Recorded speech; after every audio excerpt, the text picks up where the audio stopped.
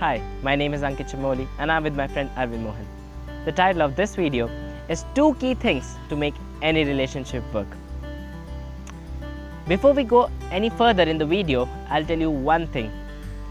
If you are looking for quick fixes, this video isn't for you. Because these two key ideas, when you apply over time, you'll surely succeed in your relationship. So let's get started. First thing is listening properly. What is listening properly? Listening properly is listening with all attention. And it's also much more than that. But let's divide this listening into two categories listening for men and listening for women. So, listening for men. Whenever women are in a situation that is a problematic situation, they always try to talk. They always think the solution or they fi- try to find the solution through talking. And it's not always they're trying to find a solution.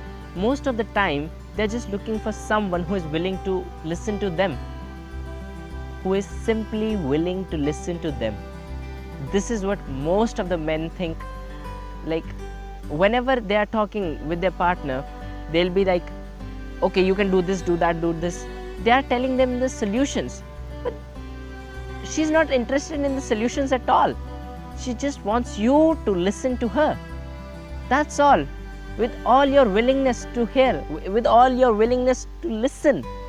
This is what she wants. Second thing is listening for women. Now, whenever men are in a problematic situation, they they try to you know isolate themselves. They try to go inside a, a cave, and they don't want to talk to anyone. They just try to find a solution themselves, because that's what men have been doing. They have been trying to find the solutions for themselves. And what women take this is a sign of withdrawal from the relationship. They think that they are not able to fulfill their partner uh, partner's choice or or whatever. They think that the relationship is not working because they feel that the man is withdrawing. But he's not withdrawing. He's just trying to find a solution which he'll definitely find within himself he doesn't want uh, to discuss. And because women whenever they are in a problematic situation they try they want to discuss.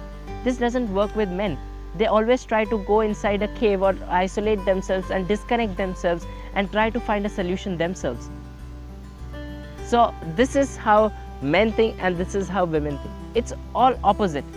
But when these opposite ends meet they'll surely create wonders listening properly is all about that. The second key idea is love. Now, what I'm gonna speak may sound unintuitive, but I'm gonna help you with a story. Let's say you have a friend Jack. He plays awesome football. He enjoys the game very much, and the enjoyment which he gets out of the game is incredible. For some reasons, he didn't play for like two months, and you meet him, and you find that he is not that same person he has become a dull person. He's he is like he's not feeling good at all. He's feeling very dumb and, and dull.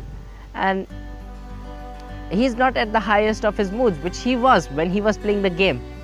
Now as a friend what would you suggest to him? Of course you might you will be suggesting him to play the game again because he enjoys it and he is in the best of the moods when he's playing the game. So it is what he enjoys. The enjoyment which he gets out of it is amazing. And the only thing is to play that game to enjoy to get the feeling of enjoyment. This is the same thing which goes with love.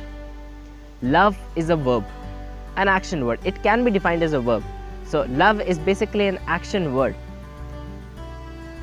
Love you need to do love to get to the feeling of love. That feeling of love is what is lacking in many of the relationship at later stages. If you want to get to that feeling of love again, start love. Loving. That's how you will achieve greatness in your relationships. Thank you. Best wishes.